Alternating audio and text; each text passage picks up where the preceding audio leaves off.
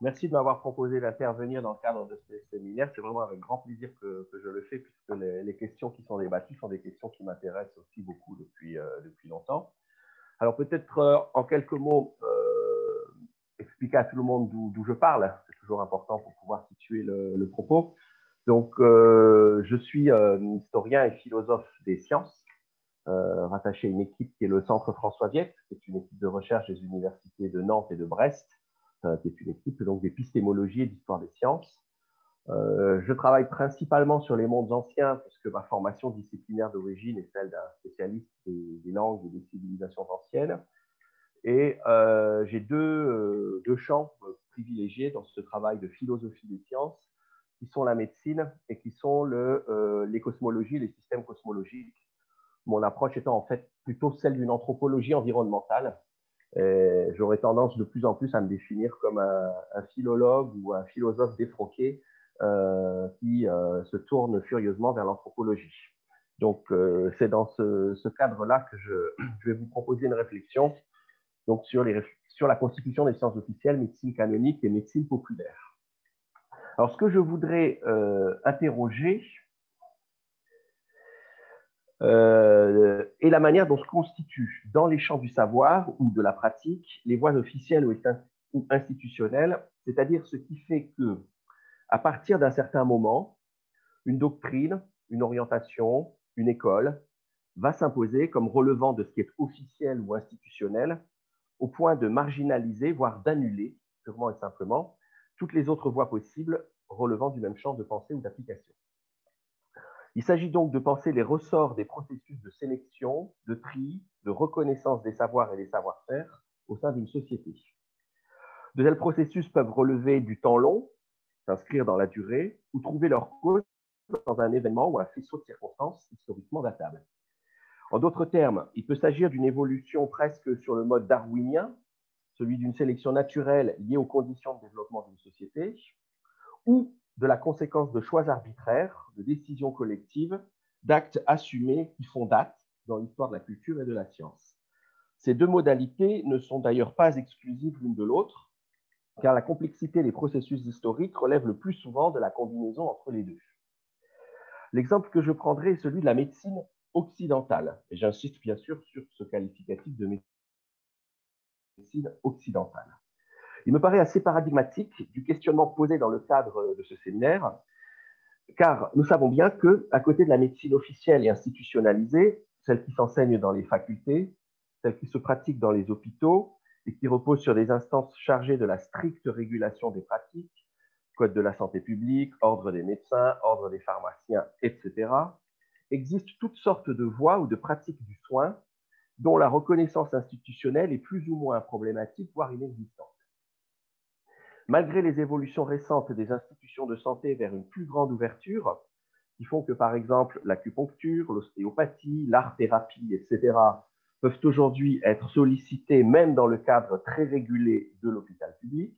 Donc, malgré ces évolutions récentes, les débats et les polémiques restent vifs. Et le débat récent sur le déremboursement de l'homéopathie, jugé inefficace par les instances de régulation, est une bonne illustration.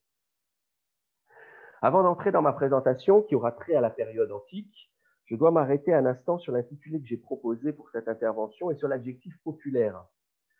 Euh, j'ai bien conscience des difficultés et des problèmes posés par le recours à un tel adjectif populaire, dont la définition est on ne peut plus instable et surtout très souvent chargée de connotations sociales antagonistes. Euh, qui plus est, appliqué à la médecine, l'adjectif semble presque un pléonasme puisque la pratique du soin qui traite les hommes, les femmes, les populations est, somme toute, populaire par définition. La maladie, la procréation, la mort sont les aspects de l'existence que nous partageons tous presque à égalité, quoique la sociologie nous enseigne que nous ne sommes pas vraiment égaux face à elle, et l'actuelle pandémie vient le confirmer. Mais j'ai préféré user de cet adjectif populaire afin d'éviter le, le recours pardon, au qualificatif qualificatifs tels que médecine parallèle, médecines alternatives, pseudo-médecine, qui sont tout aussi problématiques, mais renvoient surtout à des perceptions ou des catégories contemporaines qui perdent leur sens et leur pertinence dès lors que l'on se tourne vers les périodes plus anciennes. Si l'on se tourne vers notre antiquité, lorsque je dis notre antiquité, je parle des grandes civilisations qui pour nous sont considérées comme étant au fondement de la culture européenne. Donc si l'on se tourne vers cette antiquité, le premier constat qu'il faut avoir à l'esprit est euh, que nous parlons d'une époque qui ne connaît ni université, ni faculté de médecine, même s'il existe des lieux d'enseignement de la médecine, ni autorité de santé publique. Le concept même de santé publique apparaissant tardivement, très tardivement, dans notre histoire. Et d'une époque qui ne connaît pas non plus d'instance de régulation et de légitimation de la pratique. À proprement parler, il n'existe pas de médecine officielle ou institutionnelle dans les périodes anciennes. Il n'existe que des thérapeutes au profil très varié.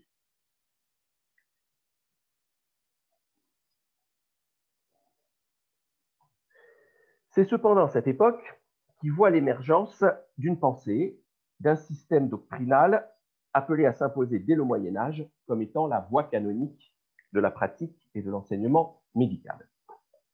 C'est la figure du médecin grec Galien de qui sera au centre de mon propos d'aujourd'hui. Toute la médecine, telle qu'elle se pratiqua en Europe à partir de la fondation des premières écoles ou facultés de médecine jusqu'à la fin du XVIIIe siècle, est galénique. Et même au-delà, le galénisme, héritier revendiqué de l'hippocratisme, continue à marquer de son empreinte non tant notre pratique que notre conception de ce que doit être la médecine. Lorsque nous pensons à l'histoire de notre médecine, la figure tutélaire qui vient immédiatement à l'esprit n'est pourtant pas celle de Galien, mais celle d'Hippocrate. C'est évidemment juste, car Hippocrate est bien un père ou un fondateur, mais il ne le resterait sans doute pas dans la tradition sans l'entremise de son héritier revendiqué, Galien. Et je vous donne ici une citation d'un ouvrage d'une des grandes historiennes euh, de la médecine, Daniel Gourevitch. Euh, c'est la première phrase de, l'ouvrage mentionné sur la diapo. Donc c'est en italien, mais je pense que ça se comprend assez vite. Euh, ce que Daniel Gourevitch écrit, c'est que si, d'après la tradition, Hippocrate est considéré comme le père de la médecine occidentale, Galien en est le pape en ce sens que euh, c'est euh, la pensée d'Hippocrate qu'il reprend et qu'il transforme en galénisme, enfin ce que l'on va appeler ultérieurement le galénisme, euh, transformation qui se fera notamment pour rendre compatible cette pensée avec les enseignements de l'Église. Donc c'est cette pensée, mais systématisée par Galien, qui va structurer toute la médecine occidentale à partir du Moyen Âge. Alors, à l'époque de euh, Galien, donc euh, second siècle après Jésus-Christ, il n'existe rien de tel qu'une pensée ou qu'une doctrine médicale unifiée et unifiante. Certes, la pensée hippocratique exerce une influence incontestable sur la culture médicale des contemporains, mais loin s'en faut que tous les praticiens se revendiquent du rationalisme et de l'éthiologie hippocratique. L'histoire de la médecine ancienne, telle qu'elle se pratique en Grèce et à Rome, et celle d'écoles ou de sectes, pour employer le terme latin, écoles et sectes qui proposent des approches épistémologiques et méthodologiques différentes, certaines en rupture revendiquée avec l'hippocratisme. Toutes ces écoles ont pignon sur rue, même s'il n'existe pas d'institution à proprement parler qui les matérialise dans l'espace social, elles ont leurs maîtres, leurs disciples, leurs adeptes et donc aussi leurs patients. Si l'on est malade et que l'on s'adresse à un professionnel du soin, on n'est pas pris en charge par un médecin, mais on est pris en charge par un médecin rationaliste ou logique, par un médecin empirique, par un médecin méthodique, par un médecin pneumatique, et j'en passe, car là, je ne fais que mentionner les principales écoles dont nous conservons la trace. Et je ne parle bien sûr que des seuls médecins euh, et laisse provisoirement de côté les magiciens, guérisseurs et thérapeutes en tout genre qui occupent aussi très largement le terrain dans euh, ces sociétés anciennes. Cette distribution de l'enseignement et de la pratique médicale en écoles concurrentes rejoue en fait très clairement ce que l'on connaît du côté de l'enseignement et de la pratique philosophique, eux aussi partagés et disputés en une nébuleuse d'écoles et de sectes qui s'opposent et polémiquent entre elles. Et de fait, la polémique doctrinale est le lot des médecins, comme elle l'est des philosophes, sur le mode agonistique qui caractérise assez généralement l'activité intellectuelle dans le monde grec. Alors la tentative de Galien, réussie si on la considère a posteriori, fut d'imposer un modèle épistémique et pratique et, dans une démarche très nettement polémique, de dévaloriser et marginaliser les modèles concurrents. Je me propose donc de passer en revue, de manière forcément très synthétique, les ressorts de cette démarche et de son succès. La question pourrait être celle-ci. Qu'est-ce qui permet à un savoir ou un savoir-faire de devenir la référence par rapport à tous les autres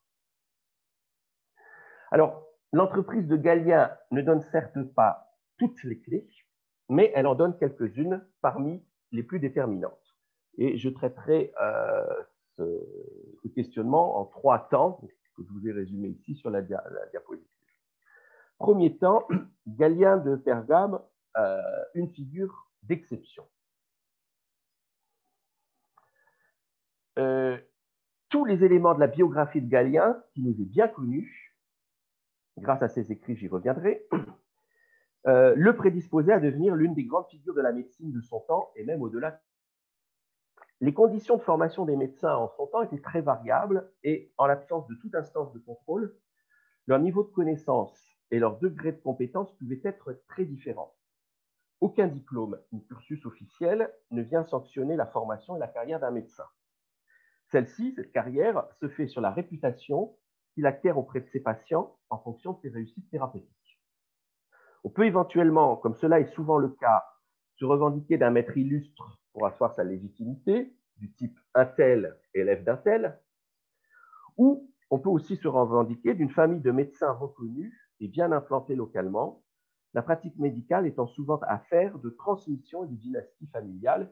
Et à ce moment-là, le modèle un tel élève d'un tel est supplanté par le modèle un tel fils d'un tel, modèle tout à fait déterminant euh, dans la sociologie euh, des, des mondes anciens et du monde grec en particulier. Dans le cas de Galien, euh, ce qui est intéressant, c'est que Galien n'est pas issu d'une famille de médecins.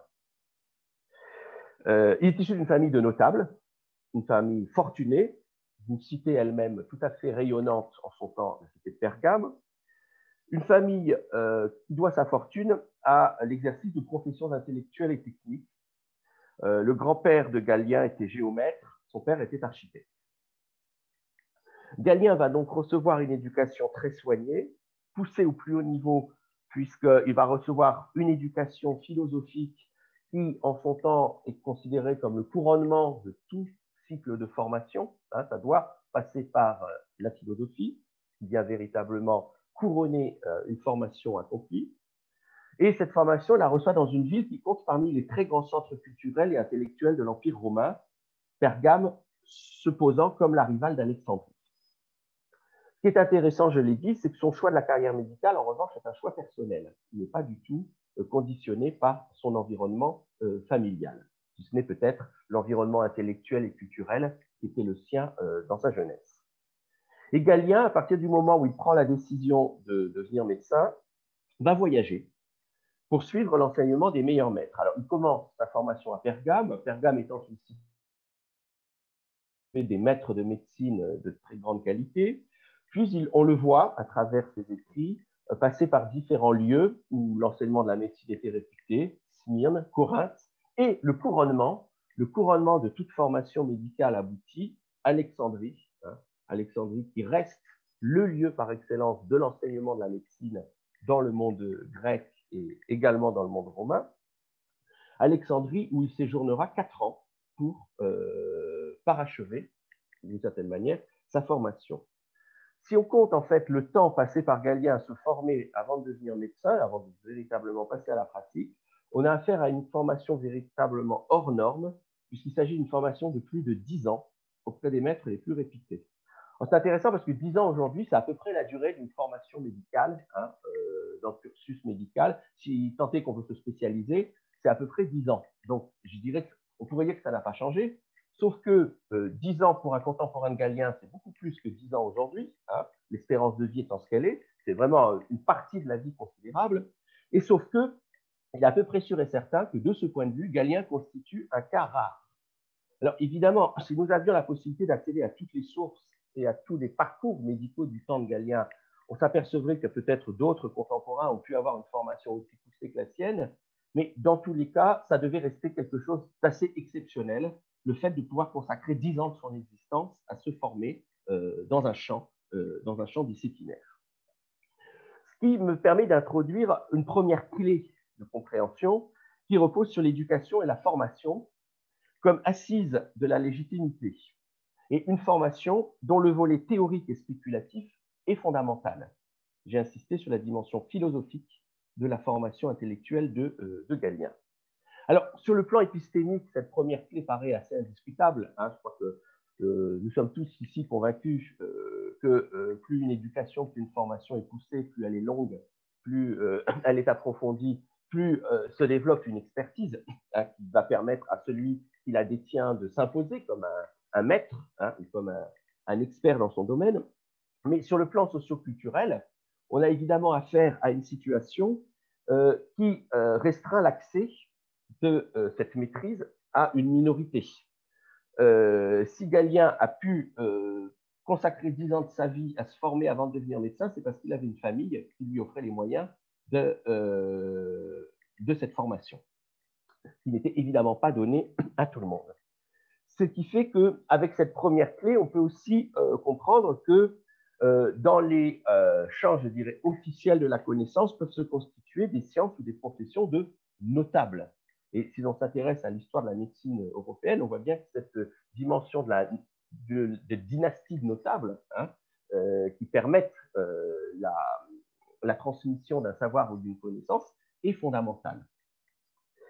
Alors, c'est cette assise éducative qui va permettre à Galien un début de carrière prometteur. Euh, le début de sa carrière, il l'effectue comme médecin officiel des gladiateurs à Pergame pendant quatre ans.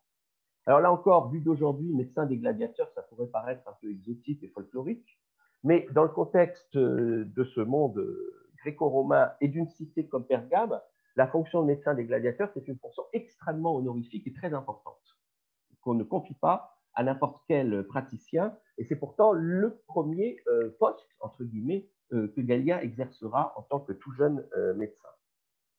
Mais comme Galien est ambitieux, il ne restera pas à Pergame et il prendra la décision de s'installer à Rome à partir de 162 et donc de devenir médecin au cœur du monde. Et à Rome, il va découvrir évidemment un milieu médical assez particulier et il va très vite effectuer ses premières passes d'armes avec ses confrères concurrents. Très rapidement, il fait ses premiers pas dans la haute société et commence à construire sa réputation à travers des thérapies réussies, thérapies réussies auprès d'une patientèle bien choisie, c'est-à-dire une patientèle constituée de figures importantes de euh, la société euh, romaine, à travers des conférences publiques qu'il va donner très tôt et des démonstrations publiques d'anatomie qui étaient très courues, très prisées euh, des, élites, des élites romaines. Euh, euh, cette activité va lui offrir ses premières polémiques avec les autres médecins en vue qui exerçaient dans la capitale. En parallèle, et j'y reviendrai à l'instant, il exerce une activité d'écrivain très riche. Euh, ce que l'on sait, c'est qu'en 66, il doit quitter Rome, départ précipité, et selon ses textes, les motifs divergent. Dans un de ses traités, le pronostic, il énonce, il invoque les menaces et les manigances de ses adversaires médecins contre lui, qui l'aurait peut-être poussé à quitter la capitale. Il s'était fait des ennemis. Mais dans un, autre texte qui semble plutôt euh, raconter la vraie histoire, il indique qu'il aurait quitté Rome parce qu'à ce moment-là, l'ensemble de l'Empire, et en particulier la capitale, commençait à être touché par une des grandes pandémies historiques attestées, la fameuse peste dite Antonine. Et voir un médecin comme Galien quitter la capitale au moment où la pandémie sévit, faut reconnaître que ça n'est pas très glorieux. Euh, donc, en tout cas, la deuxième clé de compréhension aussi de ce parcours de Galien, c'est celle de l'ambition, c'est celle de la quête d'une reconnaissance sociale qui peuvent passer par les luttes et les stratégies pour s'imposer au sein d'une communauté de rivaux. Il y a donc évidemment ici une dimension sociale sous-jacente à toute activité scientifique ou toute activité euh, savante ou technique. C'est celle des querelles et des luttes d'autorité au sein d'une communauté de détenteurs d'un savoir et d'un savoir-faire, communauté au sein de laquelle bah, certaines figures vont chercher à s'imposer euh, par rapport à d'autres. Alors, la figure de Galien est incontestablement celle d'un savant sûr de sa science, sûr de son art, qui n'hésite pas à se confronter à ses confrères. C'est incontestablement celle d'un homme ambitieux et sans doute assez imbu de lui-même. Je ne sais pas s'il faut parler d'arrogance, mais cela devait faire partie de la personnalité de Galien a priori, d'après ce que nous savons de, euh, sa biographie. En 168, il va revenir à Rome, enfin pas à Rome même, mais en Italie. Il est rappelé à Aquilée par les deux empereurs Marc Aurèle et Lucius Verus, et c'est la période pendant laquelle, il va le mener quasiment jusqu'à la fin de sa vie, il devient le médecin officiel de la famille impériale. Donc Galien va être le médecin en titre euh, des empereurs, Marc Aurèle, Commode, et de l'ensemble des membres de la famille impériale. Euh, ce qui, évidemment, euh, fournit une troisième clé d'analyse. je m'aperçois que j'ai oublié de la faire figurer sur la, diapositive, mais je vous l'indique. C'est une troisième clé qui est assez évidente, en fait, mais qu'il est quand même important d'indiquer. C'est la proximité avec le pouvoir en place qui permet d'asseoir une autorité, mais aussi de disposer de moyens importants pour mener à bien son activité savante et sa pratique. Le fait que Galien ait été une sorte de médecin officiel de l'empereur a incontestablement joué dans sa capacité à s'imposer comme autorité. Le deuxième volet de l'argumentation, c'est celui de la mise en forme d'un système doctrinal, euh, mise en forme que euh, j'ai intitulé euh, ainsi les pouvoirs de l'esprit. si nous regardons ce que nous conservons des écrits de Galien, c'est aujourd'hui 125 traités. C'est environ un douzième de toute la littérature grecque conservée. Certains spécialistes disent que c'est même plutôt un dixième. Hein.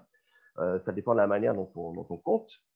Alors évidemment, ça n'est que la littérature grecque conservée, mais ça donne quand même un ordre de taille de ce qu'a pu être la production littéraire de euh, Galien, qui était un écrivain compulsif, indépendamment d'être un praticien de la médecine. Donc, Galien est conscient de l'importance de la transmission de sa pensée, il est conscient de l'importance de la diffusion de sa pensée, et il va mettre en œuvre un processus de publication de son œuvre sur lequel il va exercer tout au long de sa vie un contrôle méticuleux. Euh, alors, son œuvre, si on en étudie euh, l'amplitude, euh, couvre la totalité du champ spéculatif et pratique de l'art médical. Il n'y a pas un domaine de la pratique médicale de son temps qui échappe à, à, son étude. Mais elle va bien au-delà des limites de l'art, puisqu'elle présente aussi une dimension philosophique très forte, dans laquelle, évidemment, Galien euh, bénéficie de la formation qu'il a reçue. Il y a des commentaires à Platon, par exemple, dans l'œuvre de Galien, et puis aussi des ouvrages traitant de la psychologie linguistique. Donc, c'est véritablement une œuvre érudite et savante au sens fort, donc une œuvre qui ne se limite pas à la pensée médicale et à la pratique médicale. Et dans cette œuvre, Galien euh, construit de manière méticuleuse euh, une figure de l'héritier officiel, la figure du fils spirituel du père fondateur, c'est-à-dire Hippocrate. Et à partir de là, l'œuvre d'Hippocrate sera lue à travers l'autorité de Galien, qui se présente comme un passeur, le passeur officiel, si vous voulez, hein, de la pensée d'Hippocrate. Alors, autre trait très notable de l'œuvre de Galien, et ça c'est quelque chose de tout à fait exceptionnel pour l'époque, c'est que la dimension autobiographique y est très développée. Et ça c'est très rare pour les études d'antiquité. Hein. Euh, Galien raconte sa vie. Galien raconte sa vie dans ses textes, et euh, cette, dimension, euh, évidemment, fait une grande partie aujourd'hui encore du charme, et peut-être même, constitue peut-être même l'essentiel du pouvoir de séduction qu'exerce l'œuvre de Galien à travers les siècles c'est que non seulement c'est une pensée qui est mise en scène, mais c'est aussi un homme dans toute sa complexité, dans toute sa richesse, qui se met en scène. Donc, Galien se montre particulièrement attentif aux conditions de diffusion, de réception et de transmission de son œuvre. D'abord, il va procéder tout au long de sa carrière à des réécritures et des remaniements de ses textes. Hein. C'est donc une œuvre qui n'est jamais euh, finie. Et euh, il va même rédiger deux traités biobibliographiques donc un livre intitulé Sur l'ordre de ses propres livres et un second intitulé Sur ses propres livres, traité dont la vocation est d'authentifier ses œuvres et de se prémunir contre toute forme de plagiat. Donc il donne lui-même la liste officielle de ses œuvres euh, telles qu'elles doivent passer à la postérité. C'est bien que la quatrième clé, qui me paraît essentielle pour comprendre euh, cette œuvre galénique, c'est le principe de la mise en scène. La mise en scène comme une figure incarnant la science à travers la figure du médecin-philosophe qui caractérise Galien, médecin-philosophe dont la perfection se caractérise par la maîtrise d'une culture et d'un champ de connaissances très étendu. En fait, Galien construit véritablement, et euh, je n'hésite pas ici à, employer un terme assez bourdieusien, il construit véritablement un habitus scientifique qu'il vient incarner à travers euh, ses, euh, ses, écrits. Et la cinquième clé, c'est évidemment celle qui consiste à faire œuvre, au sens propre et matériel du terme, c'est-à-dire le souci de léguer à la postérité une somme littéraire et scientifique qui puisse devenir une référence et d'une certaine manière effacer toutes les autres références. Alors l'arme, et c'est ça le plus important sans doute dans la démarche de Galien, son arme, c'est la polémique. C'est la polémique. Cette entreprise polémique de Galien s'est surtout euh, concentrée sur les représentants d'une école qui connaissait à l'époque de Galien une très grande popularité, c'est l'école méthodique. C'est une école arrivée plus tardivement dans le paysage, donc qui pouvait être considérée encore à l'époque de Galien comme récente, mais qui connaissait un succès et euh, une estime euh, très importante.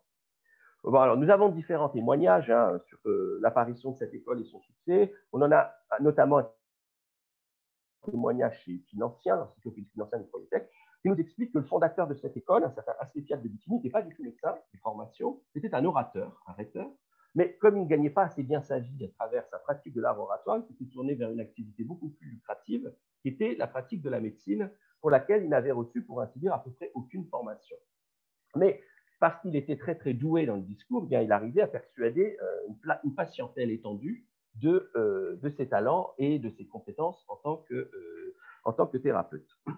Alors, Asclépiade de Bithynie n'est pas qu'un charlatan, c'est aussi quand même quelqu'un qui avait élaboré, et puis ses, disciples après lui l'ont repris, un système assez simple qui aboutissait à cinq remèdes utiles, remèdes un peu des universels, utiles en toute occasion, qui étaient l'abstinence de nourriture, l'abstinence de vin, les frictions corporelles, la promenade et la gymnastique, et enfin, ça c'était la clé quasiment de voûte du système méthodique, le transport en litière. Et ça marchait très très bien, ça marchait très très très bien. Euh, cela attirait beaucoup de, euh, beaucoup de euh, patients qui étaient prêts à payer assez cher pour se soumettre à, à cette thérapeutique. Alors, Galien, lorsqu'il nous présente le portrait des méthodiques, nous en présente un portrait véritablement à charge, et il s'en prend notamment à une idée qui était vendue, entre guillemets, par les méthodiques, c'était qu'on pouvait former un médecin en six mois. évidemment, pour Galien, qui avait passé dix ans à se former avant de devenir médecin, L'idée que six mois puissent suffire à former un thérapeute était une idée totalement inacceptable, qui remettait évidemment en cause et en question toute son, existence même et toute sa, conception de la médecine. Et donc, je vous ai mis ici sur la diapositive un passage très, euh, savoureux de Galien qui explique que finalement, euh, si on en croit les méthodiques, n'importe qui, cordonnier, maçon, teinturier, forgeron, etc., pourrait devenir médecin du jour au lendemain à travers une formation euh, accélérée. Alors, je vais passer tous les détails de cette polémique contre la médecine méthodique parce qu'il faudrait entrer là dans le cœur, je dirais, épistémique de, de la médecine méthodique par rapport à la médecine rationaliste dont se revendique Gallia, et je n'aurai pas le temps aujourd'hui. Mais ce qui est certain, c'est que lorsqu'on étudie de près cette médecine méthodique, on s'aperçoit que si l'on oublie la polémique qui tire forcément vers la caricature qui vient de Gallia, on a affaire à une médecine qui, sur le plan clinique, n'était pas du tout une médecine de charlatan. Hein. Euh, la, pratique clinique des méthodiques était une pratique très, très euh, experte. Et euh, dans l'histoire de la médecine, bien plus tard, on retrouvera d'ailleurs des, admirateurs, Laennec par exemple, le grand Laennec, tournant du 19e siècle, des admirateurs du méthodisme, Brousset aussi à sa manière, a beaucoup repris aux méthodiques, etc. Donc on a affaire à une médecine qui n'est pas du tout la caricature que Galien voulait en donner. En tout cas, la sixième clé qu'il faut comprendre concernant la démarche de Galien, c'est euh, la capacité à instaurer une délimitation, une dichotomie stricte sur le mode de la polémique entre un savoir euh, populaire et un savoir légitimé par son académisme. Alors, de fait, et ça m'amènera à ma conclusion, euh, il faut garder, pour comprendre ce qu'a pu être le succès de la médecine méthodique auprès des contemporains gagnants, il faut garder à l'esprit le cadre socio-culturel qui est celui de la médecine populaire celle notamment des campagnes, euh, faites de remèdes de famille, ce qu'on appellerait aujourd'hui les remèdes de bonne femme, euh, transformation, médecine faite d'herboristes, de guérisseurs, etc. Et ce cadre, on le sait à travers la littérature, reste très prégnant en milieu romain, comme en témoigne la richesse de toute une littérature de vulgarisation qui fait la part belle aux remèdes et recettes tirées des plantes et de toute une materia médica issue de l'environnement familier. Une médecine ouverte à tous, une médecine pour tout le monde, si vous voulez.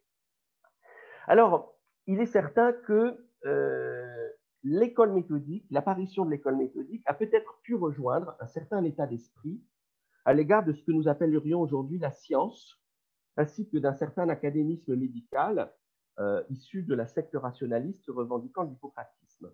Les méthodiques étaient des médecins qui finalement proposaient une lecture et une explication relativement simple de la maladie, qui ne s'encombraient pas de connaissances philosophiques et anatomiques trop lourdes et qui, malgré cela, témoignaient d'un savoir-faire pratique et d'une expertise clinique qui n'avaient rien à envier à leurs contradicteurs comme Galien, fortement teintés de théorie. Et donc, ils pouvaient aisément s'attirer la sympathie d'une clientèle en quête d'une alternative à la médecine savante. Et un des grands historiens de la médecine ancienne, Vivian Newton, a même proposé la thèse selon laquelle, en fait, le méthodique est arrivé à point nommé à une époque où la médecine commençait à devoir devenir une médecine de masse, euh, à travers notamment euh, le développement de l'urbanisation hein, dans certains grands centres comme Rome, où il fallait pouvoir de plus en plus traiter la masse. Et effectivement, la médecine extrêmement complexe, extrêmement savante d'un Galien n'était peut-être plus tout à fait opérationnelle par rapport à euh, ces impératifs sociaux, sociaux. Donc, en conclusion, je dirais que une comparaison contemporaine pourra me servir d'argument. Notre médecine occidentale, académique et institutionnalisée, dont la compétence et les résultats sont objectivement incontestables, se heurte de plus en plus à des remises en cause et à la concurrence d'autres modalités thérapeutiques moins officielles. Certaines de ces dernières appartiennent à des traditions médicales très anciennes, ayant fait leurs preuves auprès des populations. Je mentionnais l'acupuncture, par exemple, je pourrais mentionner la médecine chinoise, et d'autres sont nés de théories ou de philosophies plus tard venues, qui sont parfois douteuses, mais qui peuvent aussi euh, offrir un vrai euh, cadre épistémique euh, intéressant. Je pense par exemple à l'homéopathie de Samuel Hahnemann, naît au XVIIIe siècle. Alors ces médecines dites parallèles ou alternatives ont souvent le vent en poupe et même pignon sur rue auprès d'une certaine population. Alors dans le cadre de nos sociétés, c'est plutôt en général une population urbaine et éduquée. Bah, beaucoup plus qu'une population euh, populaire, entre guillemets, même s'il ne faut évidemment pas oublier les rebouteux et autres magnétiseurs qui, euh, dans, certains, dans certains coins, c'est le cas dans ma campagne euh, du pays nantais, ont pignon sur rue et attirent des patientèles tout à fait considérables. Alors, parmi les reproches couramment adressés à la médecine institutionnelle, qui contribue à favoriser, les tendances et les aspirations alternatives, il y a souvent son dogmatisme, sa scientificité, son côté savant, sa technicité croissante, qui semble l'éloigner, la détacher euh, euh, des, personnes et des euh, patients. Il est possible que le positionnement entre Galien et, l'école méthodique soit tout à fait révélateur hein, de cette double conception de la pratique médicale, même si le contexte antique était évidemment tout autre. En fait, lorsque Galien s'attaque comme il le fait aux méthodiques, il s'inscrit certes dans un débat épistémologique et technique, mais il me paraît certain qu'il s'attache surtout à défendre une certaine conception de l'art, reposant sur la maîtrise de connaissances théoriques approfondies, dont la visée et les enjeux dépassent la seule efficacité thérapeutique. C'est donc une certaine image du médecin de la profession médicale qu'il défend, et il me semble que, plus que la défense d'une orientation épistémologique, il s'agit avant tout chez Galien de défendre et d'imposer un statut professionnel et social, celui de l'homme de l'art ou celui de l'homme de science. Je vous remercie.